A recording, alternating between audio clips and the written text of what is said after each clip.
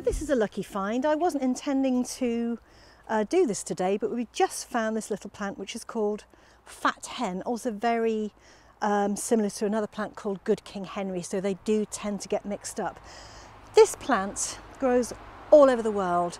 Where I live in Llanfrynach, there are fields and fields and fields of um, all different kinds of things, and after the uh, the, the, main crops have gone, the fields are full of this. And I did say to one of the farmers, you know what, this, this could be a crop for you.